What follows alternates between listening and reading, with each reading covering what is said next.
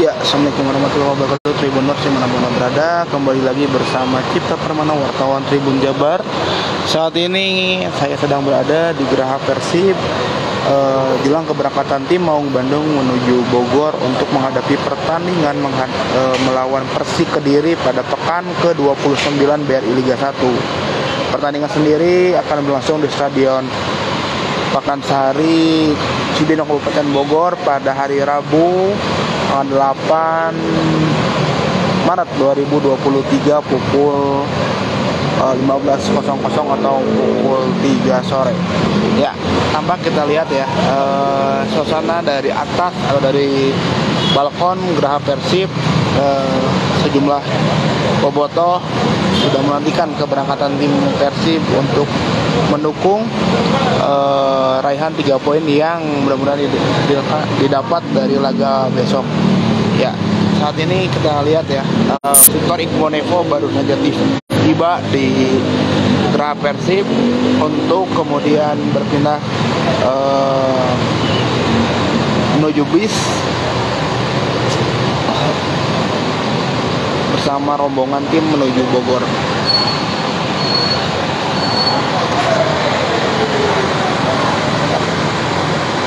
Sebelumnya kita dapat laporkan bahwa beberapa pemain ada punggawa mau Bandung seperti Bekam Putra, Fred Butuan, Ima Dewi Rawan, eh, termasuk Reki Rahayu dan lain sebagainya juga sudah tiba dan sudah mulai memasuki uh, bis kuning yang akan digunakan oleh tim Maung Bandung menuju Bogor. Kita lihat ya, Victor Igbonevo mulai masuk ke dalam bis.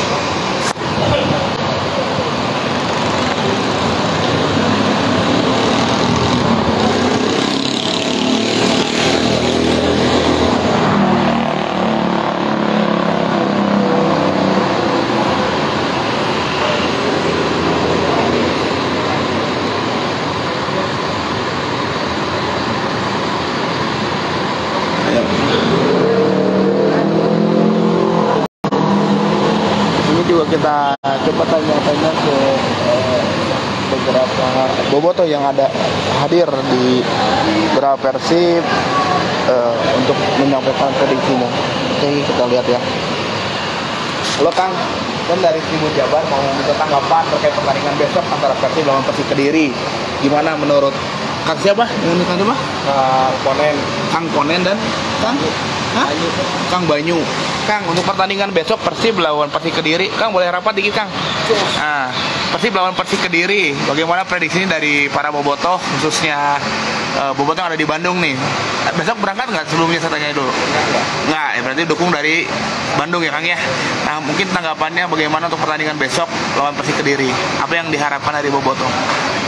harapan mah pasti harus menang ini mah harus menang gitu lah pulang bawa tiga poin kenapa mungkin bisa dijelaskan biar terus kerjain nempel PSM di atas walaupun nggak berharap juara tapi yang terbaik aja itu dari Oh gitu ya Kang ya. Intinya meskipun peluang juara itu agak berat, tapi dengan konsistensi uh, poin terus cukuplah buat Boboto gitu ya. Cukup puas ya Kang ya. Nah sekarang kalau saya tanya terkait uh, besok ada beberapa pemain nih yang nggak bisa tampil ya, kayak Teja, terus pemain yang di timnas, Zalnando sama David Rumakis yang cedera. Uh, bagaimana peluang Persib bisa meraih kemenangan di laga besok? Kalau saya optimis ya. Hah? Optimis. Optimis ya, tetap tetap optimis ya Kang ya. Bagus-bagus selain saya kan lagi juga jadi jadi insya Allah percayalah sama kiper penggantinya ya Kang ya. Kiper mah aman lah ya. Aman. Ya oke okay. siap. Prediksi skor berapa berapa Kang?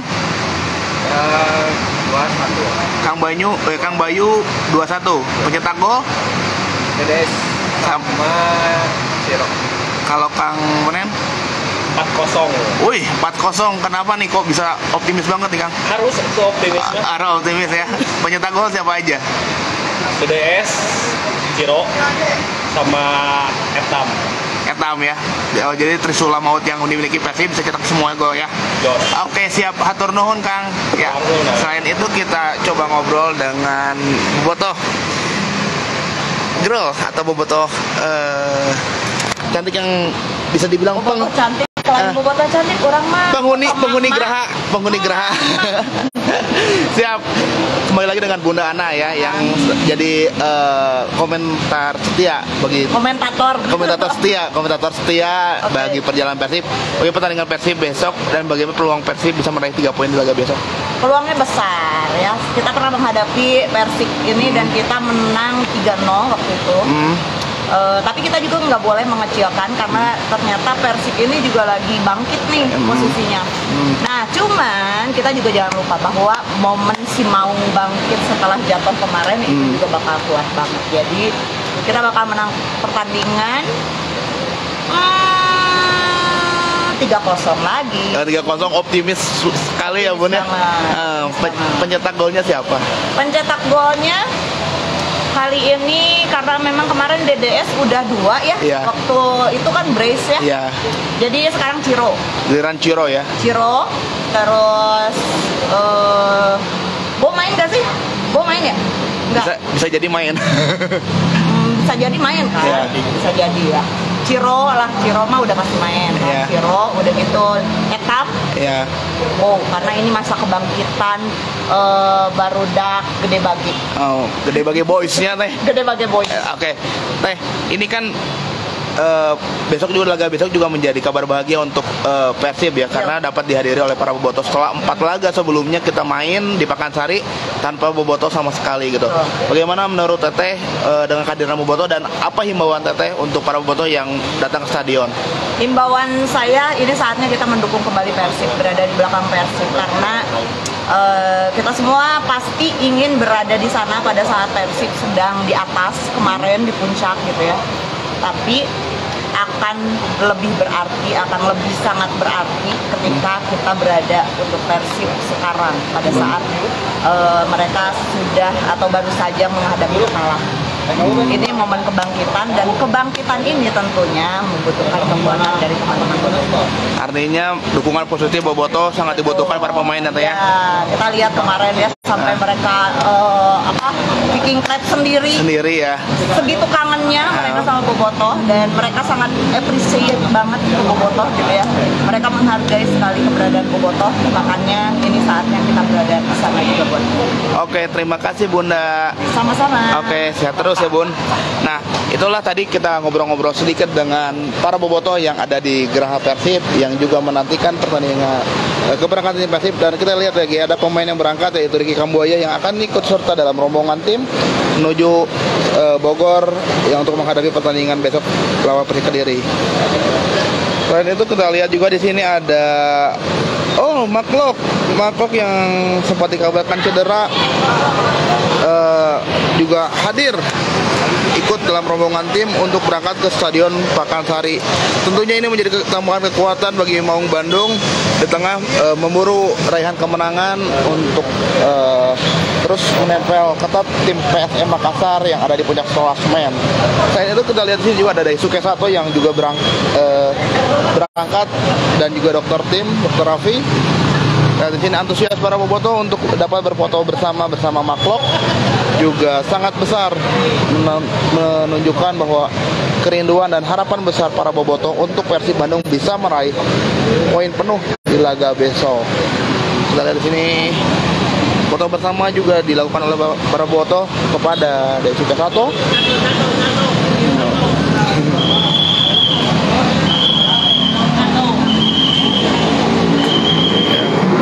Kita lihat ya.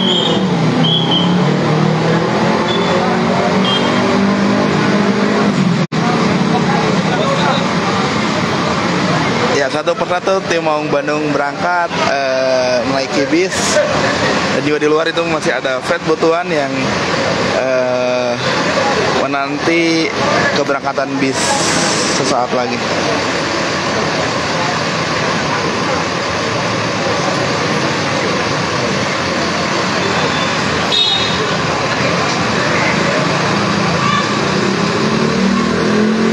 Desuke satu masih saja eh, melayani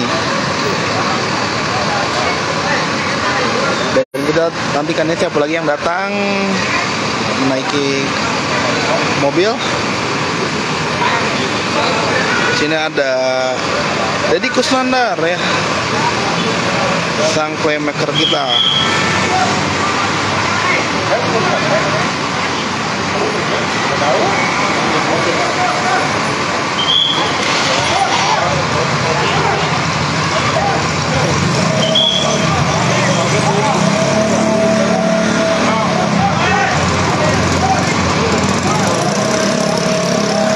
satu di, eh, para pemain tim Persib Bandung terus eh, tiba dan berangkat menuju eh, bis yang akan mereka tumpangi untuk menuju eh, Bogor untuk menghadapi Persib Bandung.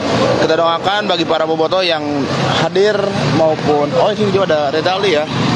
Ini ada Redaldi ya. Redaldi baru tiba. Ya, kita doakan untuk para boboto yang baik datang ke stadion maupun mendukung hanya mendukung dari rumah atau dari Bandung agar tim kebanggaan kita Persib Bandung bisa meraih tiga poin dan terus menempel ketat posisi eh, peringkat atas eh, klasemen. Sekian siaran langsung dapat kami bagikan langsung dari Geraha Persib. Kita Pramana melaporkan. Assalamualaikum warahmatullahi wabarakatuh.